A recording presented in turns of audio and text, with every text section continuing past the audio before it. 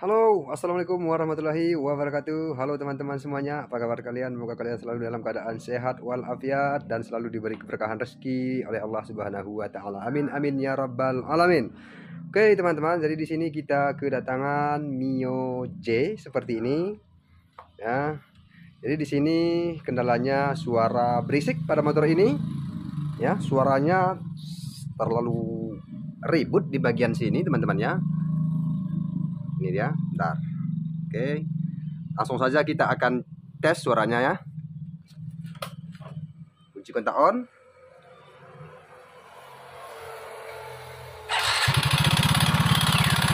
Ini dia. Terdengar suaranya sangat berisik di bagian ini. Ya wow. Kita mendengarkan tidak takut untuk menarik gasnya ya saking parahnya suara motor ini. Oke? Okay? wow wow wow. Jadi di sini ya ini menurut menurut feeling saya ini bermasalah di bagian tensioner teman-teman ya. Itu menurut saya ya kan?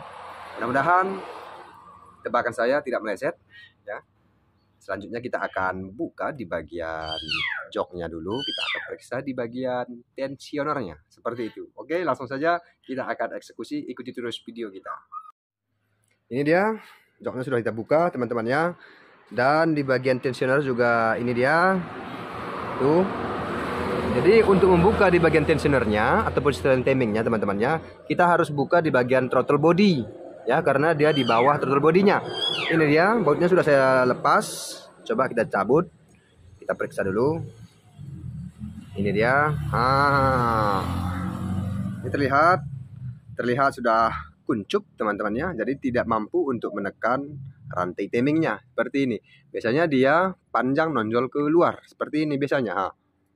nih. Ya jadi berhubung tensionernya sudah rusak pernya di dalam ya ini tidak bisa untuk turun ke bawah lagi untuk menekan rantai timingnya ini cuma separoh makanya rantai temengnya kendor dan mengakibatkan suara berisik. Ya. Seperti video-video kita sebelumnya, ya, ada saya tutorialkan juga di tapi bukan motor Mio.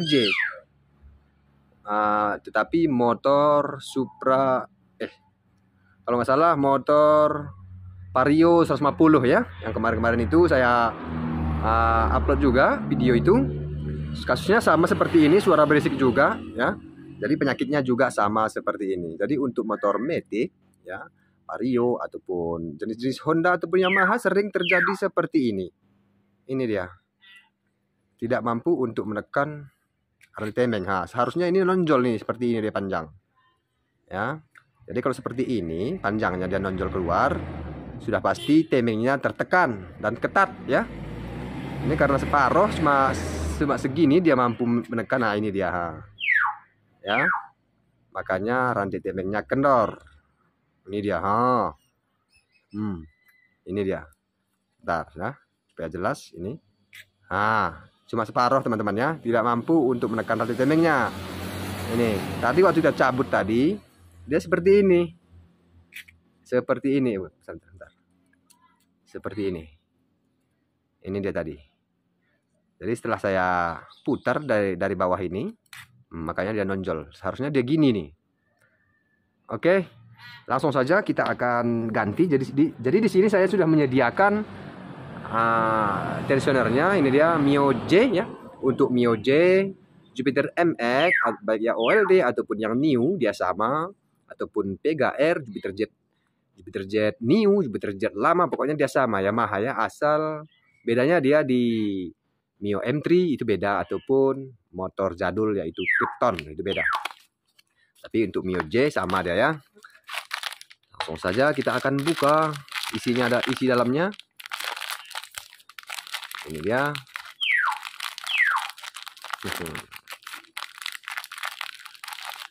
Ini dia.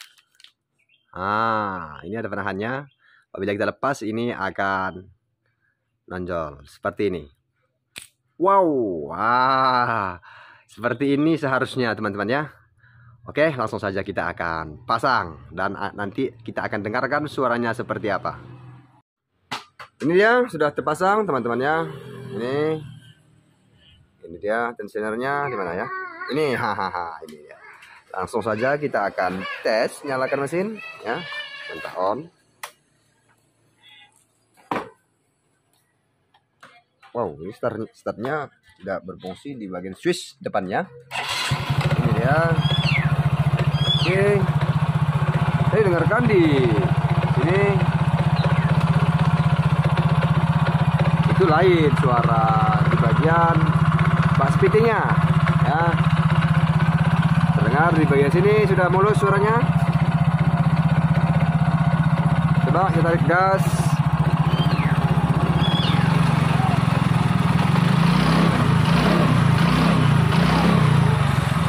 Oke.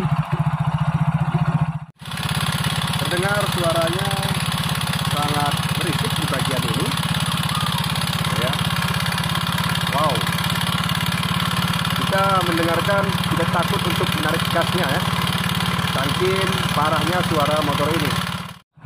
Tadi suaranya kita takut untuk menarik gasnya. Saking berisiknya suara mesinnya di bagian sini teman-teman ya.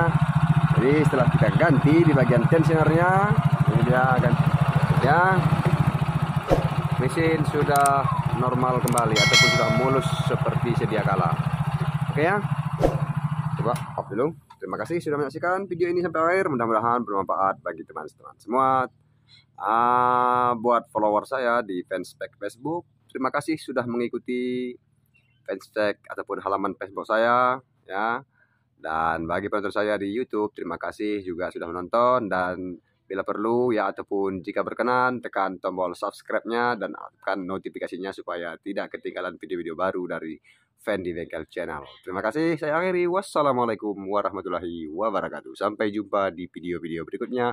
Salam Fendi Bengkel. Dadah.